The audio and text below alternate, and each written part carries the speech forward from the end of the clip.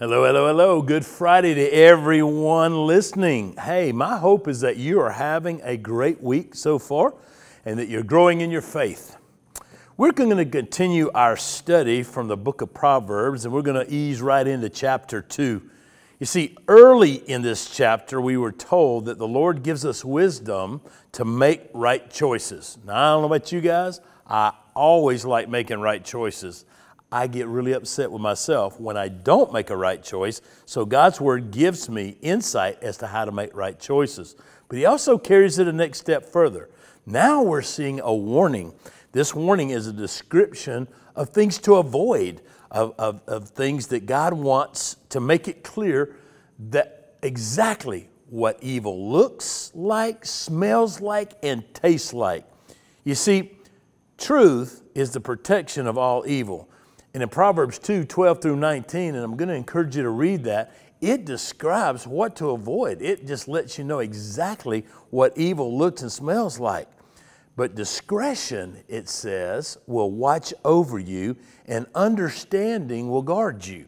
And that doesn't mean it's going to keep you safe, but what it does do is it helps you make right choices and going in the right direction.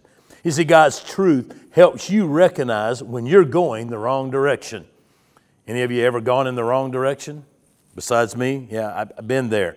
I despise that going in the wrong direction.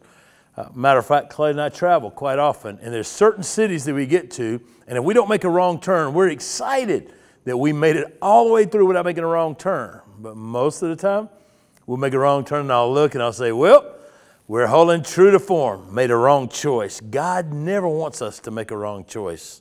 You see, the Holy Spirit that was given to us when we accepted Jesus Christ as our Lord and Savior, that guides us in the path of righteousness or in the right direction. Be warned about people who rejoice in evil. If you ever known someone that, that, that likes being around evil or perversion or walks a crooked path, you know, sounds a lot like what we're seeing on our daily networks today, day in and day out, about what's happening in cities that are around us. Just pure evil. Why do we want to be aware of evildoers? Not to isolate ourselves, but it's to insulate ourselves.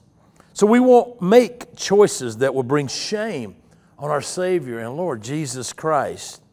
Men, we receive a strong warning to stay away from forbidden women with smooth words. And by the way, don't you guys be using smooth words to try to convey a woman to make a wrong choice.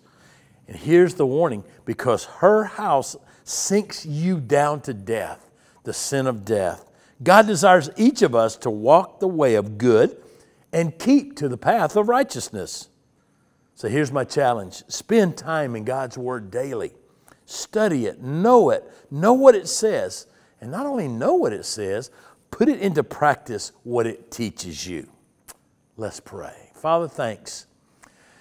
Thanks that you give us a warning. Thanks that you make it really clear of things that we should and shouldn't do in our lives. But most of all, thank you for never abandoning us, always staying with us, always loving us, always encouraging us, always pointing us in the right direction through the power of your Holy Spirit. In Jesus' strong name we pray. Amen. Hey, I hope the rest of your day and weekend is fantastic. See you this weekend in worship. God bless you.